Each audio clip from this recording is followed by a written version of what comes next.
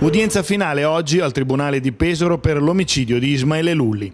La Corte d'Assise, dopo la ringa dell'avvocato Taormina, dovrà pronunciarsi sulla richiesta di ergastolo avanzata dal PM Lillio per i due imputati dopo quattro ore di requisitoria il 15 marzo scorso. Igli Meta, esecutore materiale del delitto, e Mario Mema, suo complice e presente sulla scena del delitto.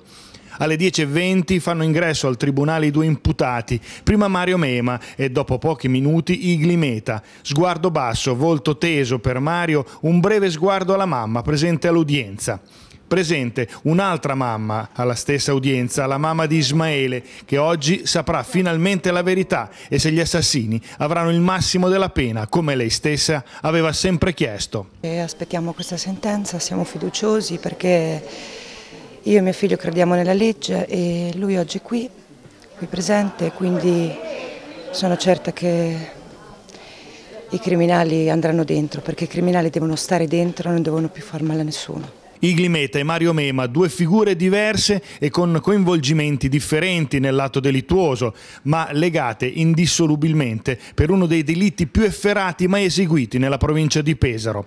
Nel boschetto, a 50 metri dalla chiesetta sulla collina di San Martino, in Selva Nera, i due albanesi hanno attirato Ismaele per un chiarimento. La sua unica colpa, una relazione amorosa segreta con Ambera, diciannovenne macedone, fidanzata al tempo di Igli. Igli sferra un fendente al al collo del ragazzo che quasi lo decapita mentre Mario si dà da fare per cancellare le tracce e probabilmente occultare assieme a Igli il corpo della vittima gettandolo in un dirupo. Oggi atto finale di questo processo arrivato a sentenza accompagnato sempre dalle dichiarazioni della madre Deborah che a gran voce ha chiesto che gli assassini del figlio marciscano in carcere. Sono molti i colpevoli di questo delitto ma pochi sono sul banco degli imputati, lo afferma Carlo Taormina che assieme al collega Asole tenterà di smontare la tesi accusatoria e scongiurare l'ergastolo al suo assistito, mentre il collegio difensivo di Mario per evitare il massimo della pena punta sulle attenuanti attenuanti, come l'età e la partecipazione marginale al delitto come ruolo di palo.